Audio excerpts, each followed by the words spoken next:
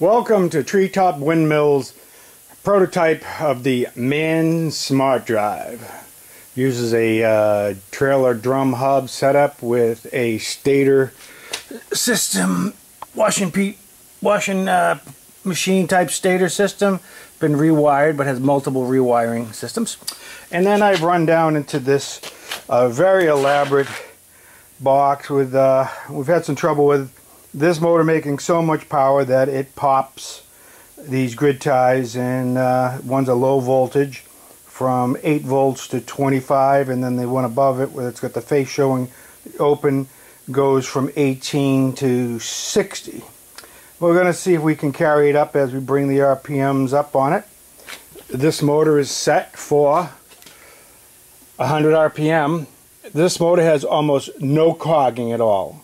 So here we go and uh, see what we got. Takes it for a minute to catch up on it, and as you can see, the voltage is right there.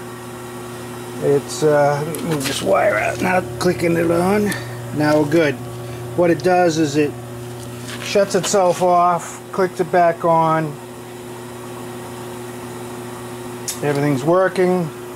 The lights are flashing crossing and I'm going to bring you over to the wall meter and we're going to see what kind of watts are being pumped in to the wall through this maze of extension cords. I use a Lennox blade and turning 100 RPM for me with my blade setup, modified blade setup, is roughly 10 miles an hour. So just at the 10 mile an hour under, I'm making power and uh, I can improve that tremendously. So I'm going to go ahead and up our speed and we're going to see what happens.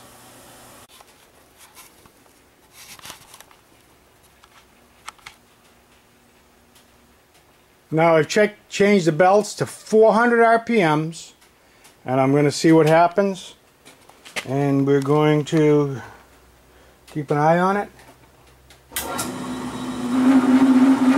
Now she's making some power. This is when something's gonna go wrong. I get this whole feeling. 50 something, gonna come back on.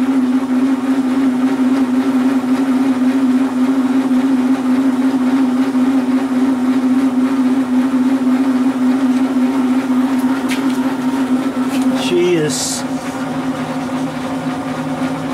I question about that other grid tie, but we'll find out. Now let's see what we got going back into the wall.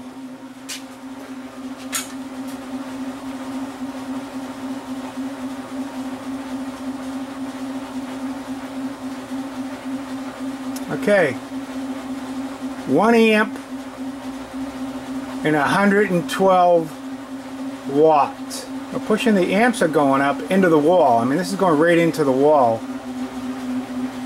Which you kind of wonder about that. Right in there. So, we're stabilizing the watts, but we're catching more amps. You know, I'll have to do a little math to see what's going on. And you can definitely hear the motors howling away here. So it's really working its uh, brains out here. So uh, if I were to disarm this and let it freewheel, we'll give that a shot.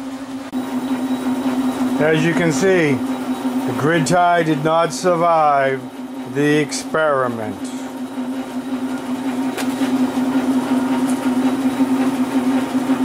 But I am still pumping it in to the other grid tie. Let's see if the other, what we have for voltages.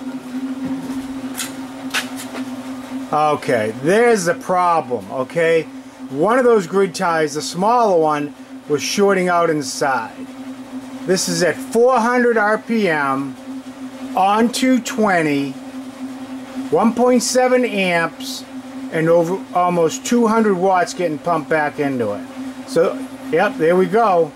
There's a, there's some reasoning there what's going on. So, uh, I had a bad grid tie, which both of them had popped, and uh, the low voltage one just can't take it. So, uh, I do have a programmable one coming, so I got a real good feeling that this is going to make some serious power here. Yeah, this is serious power anyway, so. Uh, my uh, wind turbine can push this speed, no problem. Bob Mann, Treetop Windmills. Talk to you later. Bye.